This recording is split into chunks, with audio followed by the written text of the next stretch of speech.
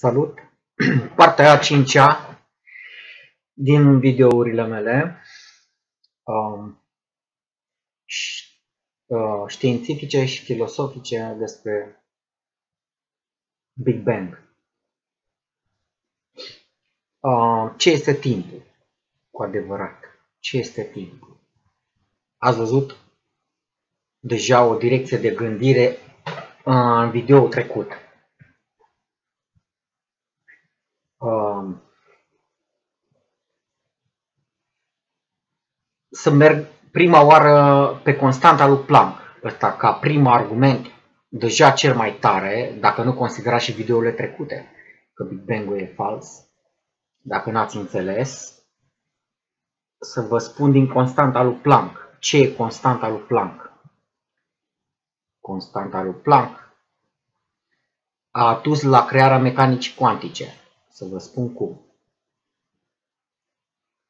Că a calculat că nu există pe o unitate de spațiu o energie mai mică decât ce a spus el.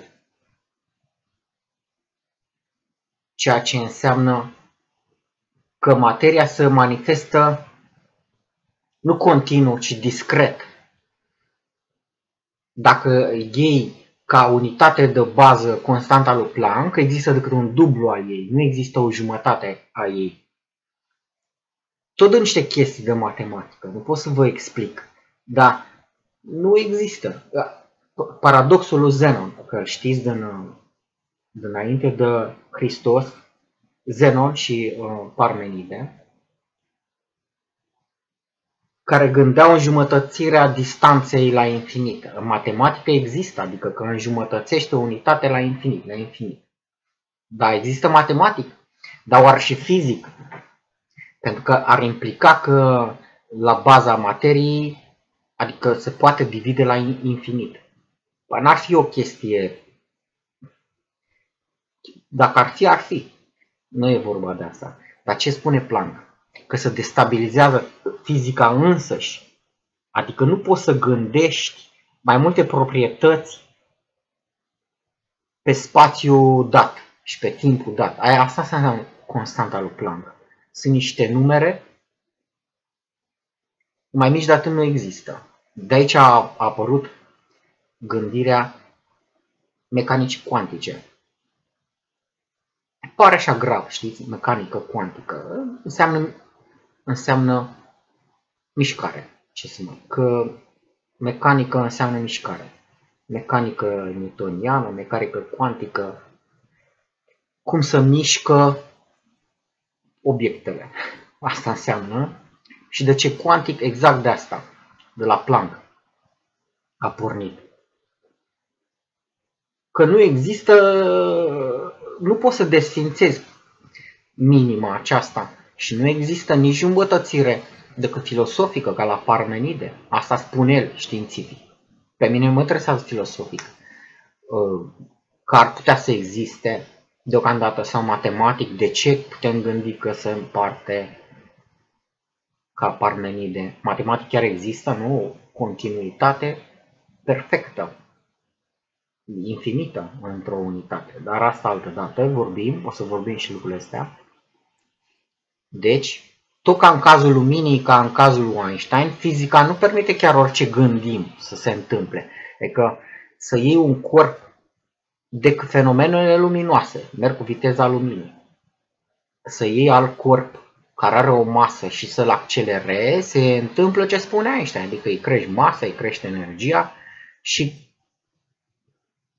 din ce în ce mai mult, când, când când crești din ce în ce mai mult viteza, din ce în ce mai mult și să ajungi la viteza, tot așa și constanta lui Planck. Și de ce zic asta? Pentru că, pentru că cum desfințezi? O desfințezi, adică să spune ei cum fac când apropie Big Bang-ul. O po bate constanta lui Planck să, să, să, să apropie întreaga energie și masa Universului mai mic decât în constanta lui Planck. Deci asta au făcut, l-au contrazis pe Planck deci pe mine nu mă interesează, cum să spun, să spune ei cum au făcut.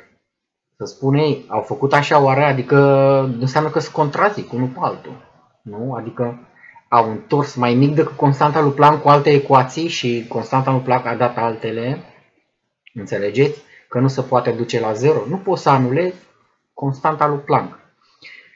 Există o sumă a întregii energii și mase a Universului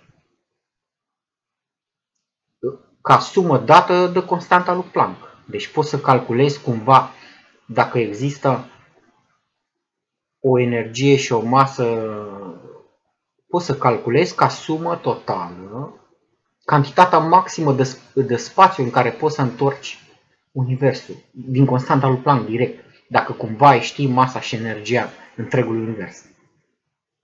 Ce afirmă ei că știu, o să vedeți că vorbesc că nu, o să o vă spun și asta, că, că se aberează ei, oameni de știință, că nu cunosc ei nici lucrul ăsta cu adevărat. M- întreaga masă și energia Universului.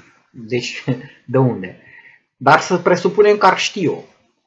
Păi direct, coroborând uh, conceptele astea două de constanta lui Planck și întreaga masă și energia, ai aflat direct spațiu maxim care poți să colapsezi universul înainte să desfințeze legile fizice, înțelegeți? Adică dacă e o bucățică de constanta lui Planck și încă una și încă una și încă una însumezi și afli maxim colapsul posibil pe care este permis fizic, deci nu altfel.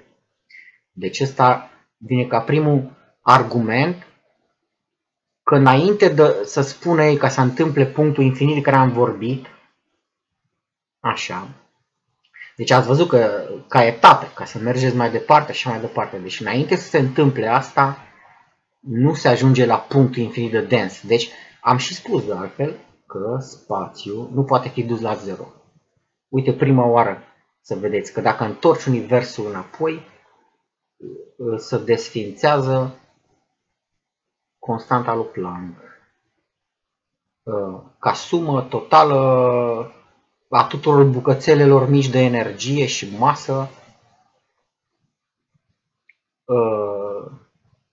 nu se poate duce de spațiu la zero. Deci, dacă ar ști masa și energie, putea să și calculezi ca, o, ca sumă. Deci e simplu, adică sfera maximă, maximă în care poți să aduni înainte să cedeze legile fizicii, că nu deci vor pe mine, după ei. Deci asta arăta prima, cel puțin că nu au gândite lucrurile, așa cum afirmă ei. Așa. Deci am zis că vreau să încep ce e timpul. Deci timpul tot așa. Vedeți că, că lucrurile astea sunt corelate, că o energie are o manifestare spațio-temporală. Deci din nou timpul, cum l-am discutat în, în videoul trecut, numai de la constanta lui Planck,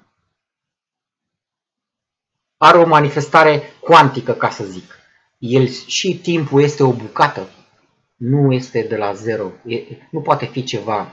Adică să apară de la zero la o bucată. Există decât timpul dat pe o cuantă, deci,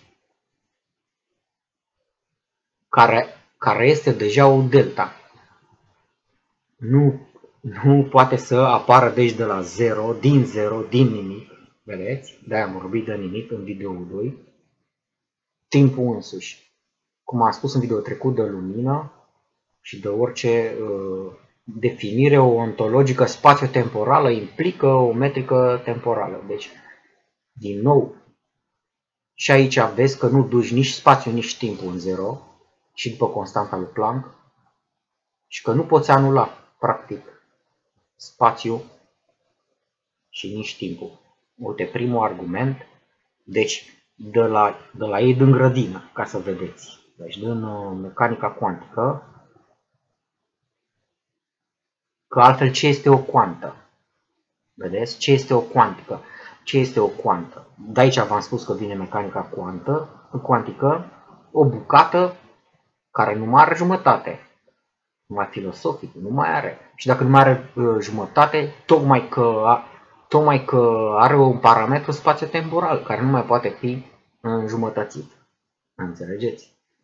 Și și dacă desfințezi pentru fiecare bucată individuală, desfințezi pentru, toate, pentru toată suma la un loc, fizică. Dacă s-ar desfința fizica numai la una singură uh, Planck, da, constanta lui Planck, se desfințează automat și ca sumă. Deci, ce discuți despre o singură cuantă se întâmplă la suma tuturor cuantelor, nu?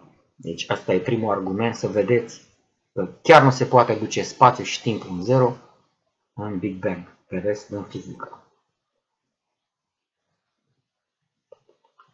Tara, tata, salut!